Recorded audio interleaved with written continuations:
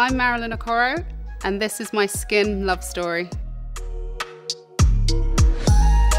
I think my skin tone is beginning to be represented in the media. Coming from the world of sport, definitely when I started a good 10 years ago, I didn't see any other girls like me in my event, so I was that representation. However, of late, we're starting to see a lot more, and I'm definitely one of those real role models, just loving the skin that I'm in and showing other girls that, you know, it's important to be proud of who you are.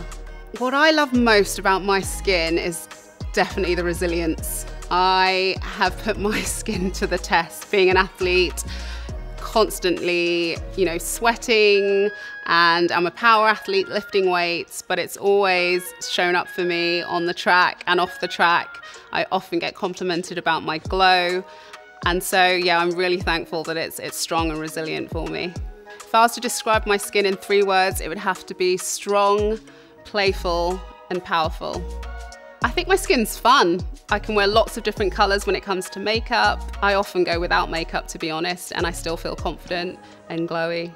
The best advice I've been given for caring for my skin has got to be to keep it moisturised, keep it soft and nurtured. It's not cool to be ashy. Um, I'm definitely that girl on the track with my cream in my kit bag, making sure just before the race begins, my ankles are, are creamed and my knees are creamed. So absolutely just to nurture it and, and moisturize.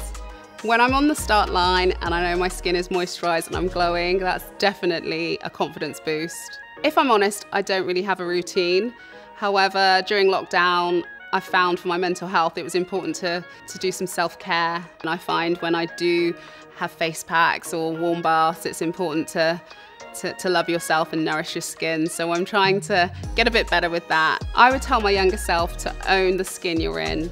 I think when I was growing up, I was really self-conscious. I was often the only black girl in the room. However, that is my superpower now. So it's important to love the skin you're in and I really see myself as a role model for the younger girls when I'm on that track that they can see me doing powerful things and, and it's important to celebrate yourself and champion you. My skin, my Cantu.